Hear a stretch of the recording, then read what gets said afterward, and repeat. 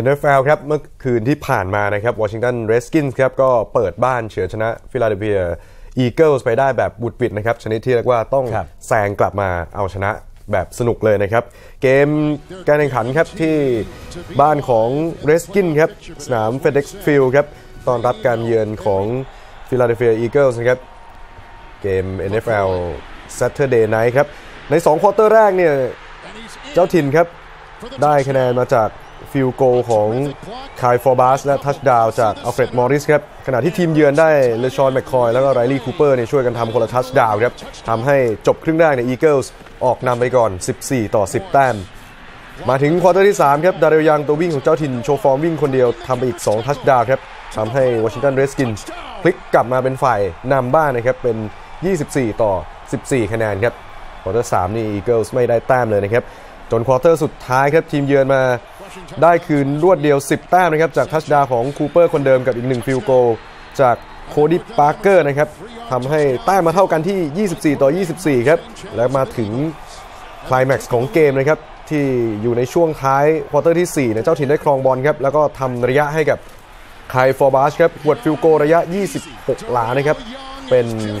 แต้มที่เป็นแต้มชัยเลยนะครับ ของ Washington Redskins ครับ ปิดเกมเอาชนะ Philadelphia Eagles ไปหวุดหวิด 27 ต่อ 24 คะแนน ลูกนี้นะครับ ลูกตัดสินเกมนะครับ ส่วนอีกคู่หนึ่งครับซานดิเอโกชาร์เจอร์สกับซานฟรานซิสโก 49ers นี่ครับ เสมอกัน 35 ต่อ 35 นะครับ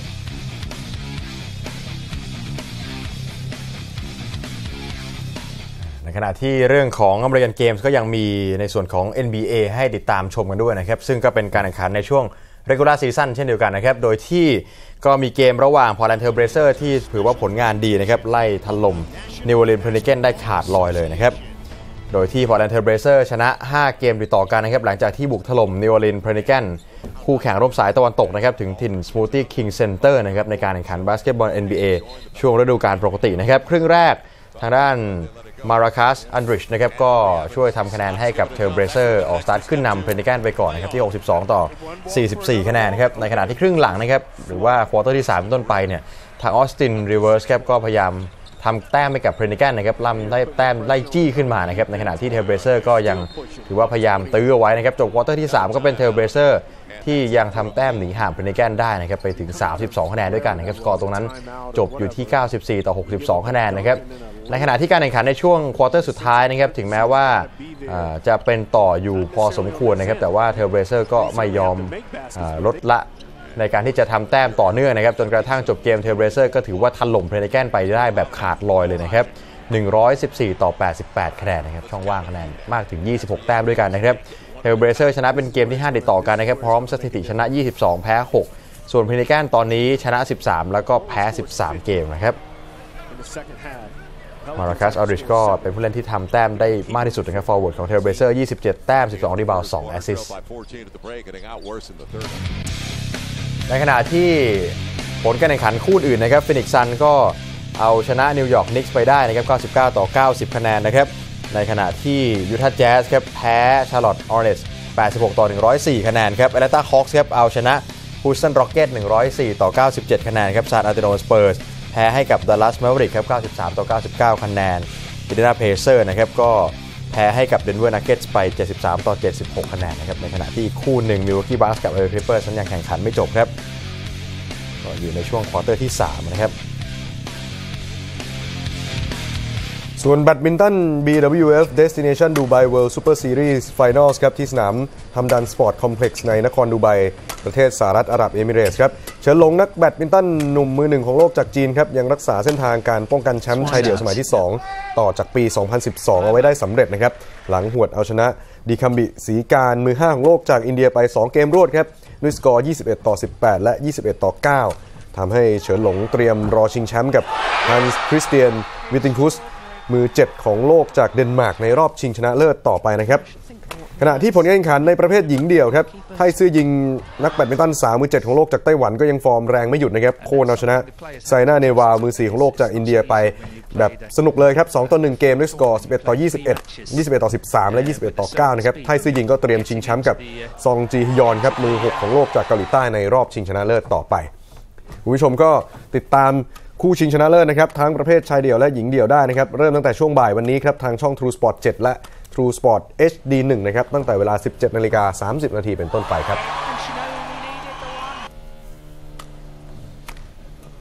ในขณะที่บ้านเราก็มีการแข่งขันกีฬาแมชพิเศษนะครับเป็นการแข่งขันรักบี้ประเพณีนะครับวชิราชวิทย์วชิราวุธครั้งที่ 24 นะครับ โดยที่ก็เป็นทางวชิราวุธที่ต้อน ราชวิทยาลัยคว้าแชมป์ไปได้นะครับในการแข่งขันรักบี้ ฟุตบอลประเพณี ราชวิทย์วชิราวุธ เป็นสมัยที่ 7 นะครับ ที่สนามบุญยะจินดา สโมสรตำรวจกรุงเทพนี่แหละครับ โดยที่คุณอัธนิติ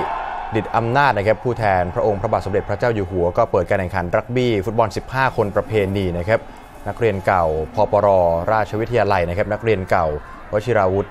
วิทยาลัยครั้งที่ 24 เป็นที่เรียบร้อยนะครับ โดยที่ วชิราวุธก็จัดการเปิดเกมรุกเข้าใส่พปรก่อนเลยนะครับ จนมาในนาทีที่ 11 นะครับฝั่งพปรฟาวนะครับ ก็เปิดโอกาสให้ทางวรงกรคำเกิดนะครับเตะลูกโทษเข้าไปครับทำให้วชิราวุธขึ้นนำ3ต่อ 0 จุดนะครับ จากนั้นเกมก็ถือว่าดูเดือดนะครับทั้งสองทีมไม่ยอมแพ้กันนะครับ เมื่อจบครึ่งแรกก็เป็นวชิราวุธที่นำพปรอยู่ที่ 8.7 8ถึง7จุดนะครับ8ต่อ7นะครับ ในขณะที่ครึ่งหลังนะครับพปรก็ฮึดสู้นะครับ พยายามที่จะเปิดเกมรุกเข้าใส่ทางวชิรวุฒิอย่างหนักก่อนที่จะได้ฟาวในนาทีที่ 71 นะครับ ก็เป็นทางด้านวชรกรวรเชษนะครับที่เตะลูกโทษเข้าไปทำให้พปรไล่ตีตื้นมาเป็น 10 ต่อ 15 นะครับพปรนั้นก็ยังไม่ยอมแพ้นะครับก็เปิดเกมลุกใส่วชิรวุฒิอย่างต่อเนื่องในขณะที่วชิรวุฒิก็พยายามที่จะคุมเกมเอาไว้ โดยเฉพาะเกมรับนะครับหมดเวลาครับก็เป็นวชิรวุฒิ วิทยาลัยที่เป็นฝ่ายเอาชนะพปรราชวิทยาลัยไปด้วยสกอร์ 15 ต่อ 10 จุดนะครับ พร้อมกับงานคว้าแชมป์เป็นสมัยที่ 7 ไปครองได้สำเร็จครับปะเพณีครั้งที่ 24 ได้กับวัชวุฒิวิทยาลัยครับขอเสียงปรบมือให้กับแชมเปี้ยนด้วยครับครับแล้วก็คืนนี้ครับ เดิมทางรวมทั้งตั้งแต่บ่ายวันนี้ไปเนี่ยใช่มีอะไรให้ได้ติดตามกันบ้างนะครับ การถ่ายทอดสดกีฬาหลากหลายจากทาง True Sport นะครับ ไปติดตามกับโปรแกรม True Sport Today ครับ ฟุตบอลลาลิก้าสเปนนะครับ 4 คู่ทางช่อง True Sport HD 2 นะครับ เริ่มตั้งแต่คู่แรกครับ เวลา 18นาฬิกาบียาร์เรอัลเปิดบ้านพบเดปอร์ติโบลาคอรุนญานะครับต่อด้วยช่วงที่2เนี่ยเริ่ม 23นาฬิกาเป็นต้นไปนะครับกรานาดาเล่นกับเกตาเฟ่ คู่ตีหนึ่งเป็นเอลเช่ เจอกับมาลาก้าครับ และปิดท้ายด้วยคู่ตี3นะครับแอตเลติกบิลเบาจะเปิดบ้านเจอกับแอตเลติโกมาดริดครับที่ซานมาเมส ส่วนกัลโชเซเรียอานะครับ เริ่มตั้งแต่คู่เย็นนะครับ 18นาฬิกา30 นาทีเวโรนาเจอกับคีเอโวนะครับ ช่วงที่ 2 21นาฬิกาเนี่ยฟิออเรนติน่าเจอกับเอมโปลีครับ และปิดท้ายด้วยคู่ดึกตี2 45นะครับ เกมคู่ใหญ่นะครับอินเตอร์มิลานกับ ลาซิโอนะครับถ่ายทอดสด 3 คู่นี้ทาง True Sport 1ทั้งหมดครับ ส่วนในช่วง 21 นาฬิกาเนี่ยเซเรียอายังมีอีก 3 คู่นะครับอาตาลันตาเจอกับปาแลร์โมคู่นี้ถ่ายทอดสดทาง True Sport 5คู่ของซามโดเรียเจอกับอูดิเนเซ่เนี่ยถ่ายทอดสดทาง True Sport 6และ True Sport HD 3ครับโตริโนเจอกับเจนัวนะครับทาง True Sport 2 ส่วนดัชเอเดวิซีลีกนะครับทาง Fox Sport HD นะครับช่องหมายเลข 680 Excelsior เจอกับ Ajax เริ่มตั้งแต่เวลา 20นาฬิกา25 นาทีเป็นต้นไปครับ NBA Regular Season นะครับ Memphis Grizzlies กับ Cleveland Cavaliers ครับถ่ายทอดสดตี4ครึ่งนะครับช่วงเช้าวันจันทร์นะครับทาง NBA TV ครับ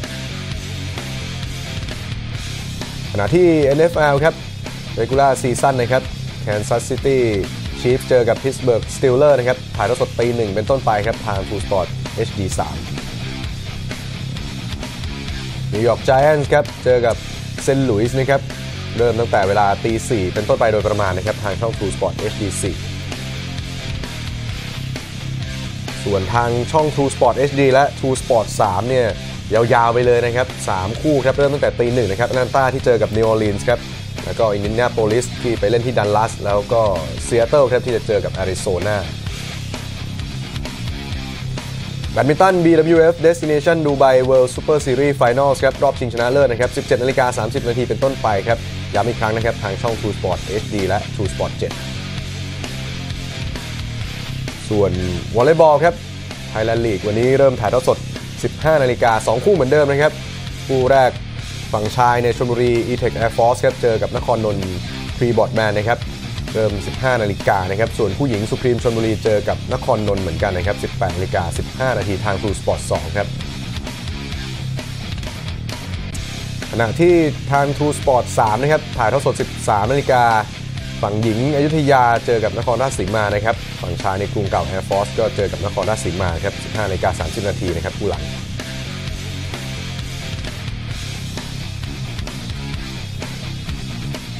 ณะที่ความเคลื่อนไหวในวงการกีฬาท่านผู้ชมสามารถติดตามเพิ่มเติมได้นะครับที่ Facebook ของรายการนะครับเซิร์ชชื่อรายการ Sport Today นะครับในช่อง search ของ Facebook นะครับปิดท้ายวันนี้ก็คงไม่หนีไปจากบรรยากาศเมื่อวานนี้นะครับที่โอ้ยังชื่นมื่นกันอยู่ใช่ครับจนถึงวันนี้ครับก็ไปดูบรรยากาศของชัยชนะของเราที่ ถึงแม้ว่าจะแพ้ในนัดที่ 2 แต่ว่าประตูรวมชนะได้กับบรรยากาศการฉลองแชมป์ครับก็เรียกว่าคนไทยก็ดูกี่ครั้งก็ยังมีความสุขกันนะคใช่ครับมี คลิปต่างๆ ที่อ่าอยู่ในโลกโซเชียลที่นอกจากจะอยู่ในสนามแล้วบรรยากาศใช่อย่างอื่นออกมาอย่างต่อเนื่อง อย่างเช่นเทในห้างนี่ก็ครับถือว่าโอ้ดูแล้วขนลุกเหมือนกันนะครับผมอะครับก็ปิดท้ายกันนะครับส่งท้ายกันรายการวันนี้กับบรรยากาศการเป็นแชมป์อาเซียนอีกครั้งหนึ่งของทีมชาติไทยนะครับแล้วกลับมาติดตาม Sport Today ได้ใหม่นะครับวันจันทร์ถึงศุกร์2ช่วงเวลานะครับช่วงเที่ยง 12นาฬิกาและ ช่วงเย็น 19นาฬิกา30 นาทีนะครับ ทาง True Sport 2 เหมือนเดิม วันนี้เราสองคนและทีมงานลาไปก่อน ขอบคุณสำหรับการติดตามนะครับ สวัสดีครับ สวัสดีครับ